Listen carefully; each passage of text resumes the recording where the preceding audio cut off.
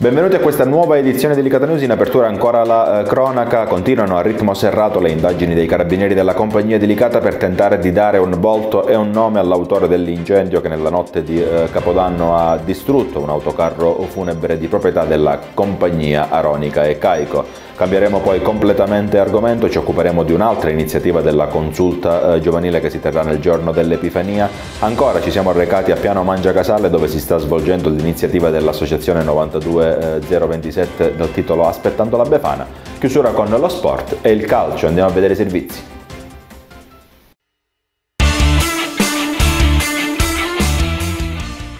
Informatico, alberghiero, economico, una grande varietà di indirizzi per la tua crescita formativa. Pensa, sogna, credi.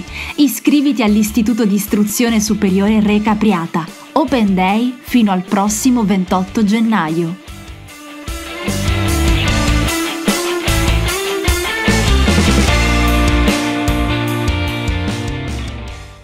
Dai circuiti di videosorveglianza di via Marianello e della zona del cimitero potrebbero a breve emergere novità importanti sull'incendio che nella notte di Capodanno ha bruciato un carro funebre di proprietà dell'impresa Aronica e Caico e danneggiato parzialmente i locali all'ingresso della camera mortuaria.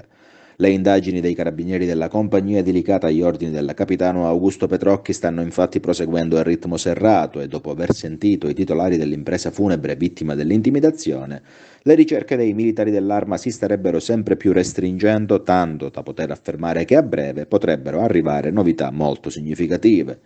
L'area attorno all'impresa danneggiata è stata vivisezionata dai carabinieri e nessuna ipotesi investigativa viene al momento tralasciata. Le immagini registrate dagli occhi elettronici potrebbero a breve dare un volto ed un nome all'incendiario della notte di Capodanno. Ognuno dipinge il quadro della propria vita con i colori delle proprie scelte. Scegliete il Linares, vi aspettiamo.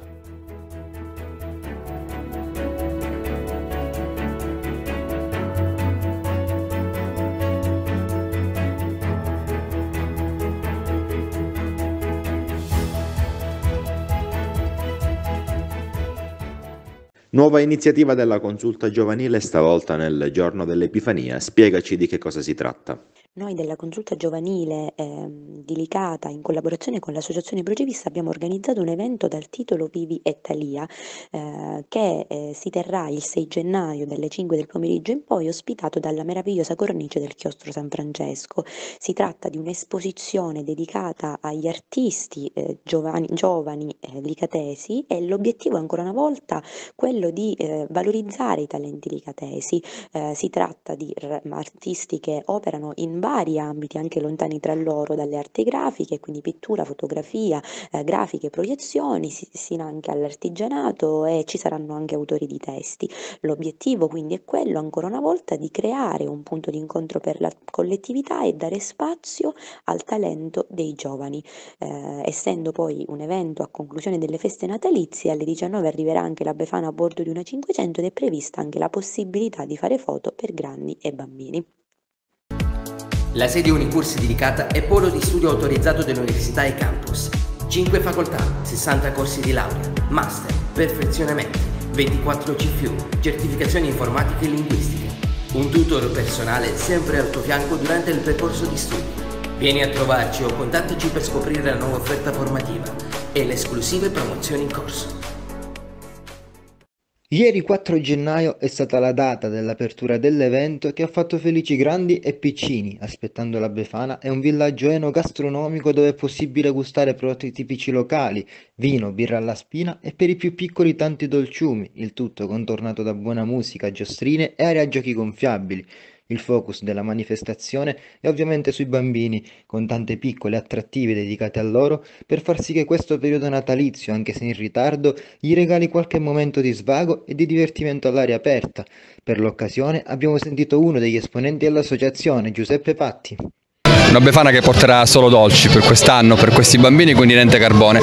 Scherzi a parte ci tenevamo a eh, colorare un po' questo periodo natalizio con questo evento che abbiamo voluto fare alla Befana proprio per chiudere questo periodo di festa e soprattutto in eh, avvio del 2023 augurarci un anno oh, migliore per la città e per tutti noi. Ci tenevamo dopo aver organizzato per due anni Lanterna Fest ed essere stati stoppati dalla pandemia e dal Covid, volevamo ricominciare con questo piccolo segnale di presenza per la città. E comunque la città ha risposto presente perché c'è tanta gente che sin dal primo pomeriggio da quando è stata aperta diciamo, l'iniziativa sta eh, arrivando qui in, eh, in piazza appunto per permettere ai bambini di visitare. Sì, ne siamo contenti, significa che la città ha voglia di eventi, speriamo che tante altre associazioni insomma, eh, seguano il nostro esempio, ma soprattutto speriamo anche di poter lavorare in sinergia con tutte le associazioni per poter creare altri eventi e per risvegliare un po' questa città un po' sopita. Noi saremo qui fino a sabato, ogni pomeriggio dalle 17 alle 18 fino a sera, si mangia, si beve, ci si diverte e soprattutto tanta musica e tanta convivialità per i bambini.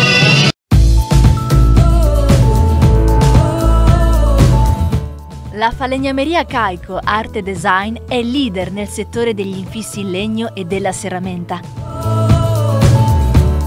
La collaborazione con prestigiosissime ville italiane ne testimonia l'importanza dell'azienda.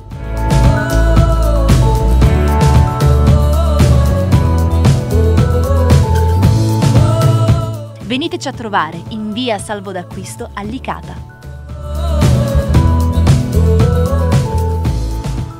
Il Licata continua a lavorare sul campo in vista della difficile sfida di domenica in Calabria contro il Castrovillari. All'andata finì 1-0 per i calabresi nell'unica partita giocata dai giallo-blu sul neutro di Ravanusa e a porte chiuse. Fu un inizio complicato per i ragazzi di Pippo Romano che dopo quella partita ne persero altre due contro Vibonese e Catania.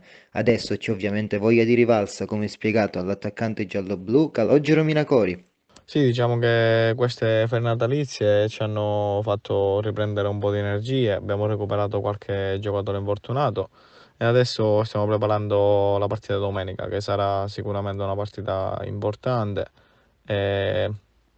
dove noi abbiamo sicuramente voglia di rivalsa dopo la partita dell'andata. Minacori è uno dei senatori della squadra, essendo già in rosa nella passata stagione. Fin qui un campionato in chiaroscuro per l'attaccante giallo-blu, che ogni domenica lotta, si sacrifica, gioca con e per la squadra, ma non riesce a incidere dal punto di vista realizzativo. Fin qui, infatti, sono soltanto tre i gol segnati contro gli otto dello scorso anno al termine del girone d'andata. A livello personale giudico la mia stagione, diciamo bene. Eh, naturalmente si può sempre migliorare eh, rispetto all'anno scorso sicuramente ho fatto meno gol, però ancora ci sono davanti tantissime partite, eh, tantissime partite dove fare gol e fare soprattutto delle belle prestazioni. Eh, l'assenza al gol è normale che la soffro, eh, l'attaccante vive per il gol, però per fortuna noi stiamo giocando bene, stanno arrivando risultati e credo che, come dico sempre, arriveranno anche gol.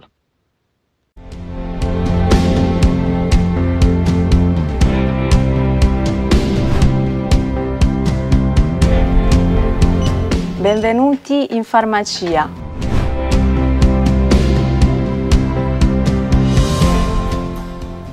Professionalità e servizi.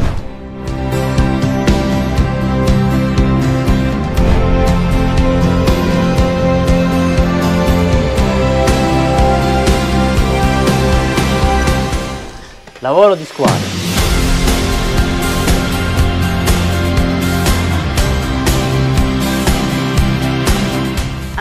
Amici degli animali. Veniteci a trovare!